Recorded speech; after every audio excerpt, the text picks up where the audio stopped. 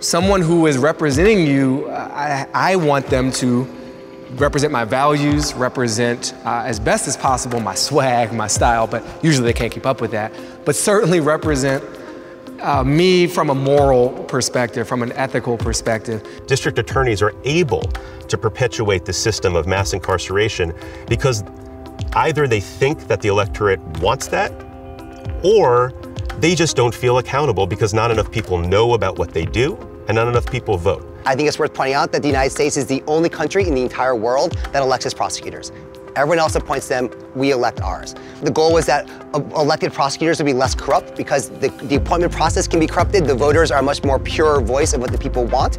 Uh, in practice, that's not how it works. With the DAs, they are often races that people just don't think about, they don't care about, they don't know about. There's not been a, a push from communities, from society at large to say, we want a different answer. This isn't working.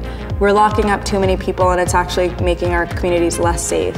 Prosecutors' offices, which are focused only on locking people up and getting the most severe sentences for the most severe charges, are going to make mistakes. And I think if we allow DAs to simply do what they've always done and, and never challenge them to get sort of outside of their box, they never will. And that's why voting is so critical. Well, not just voting, voting from an informed standpoint and then holding them accountable going forward to stay true to the promises that they made. The only way that we can hold them accountable is by the public not falling asleep at the wheel.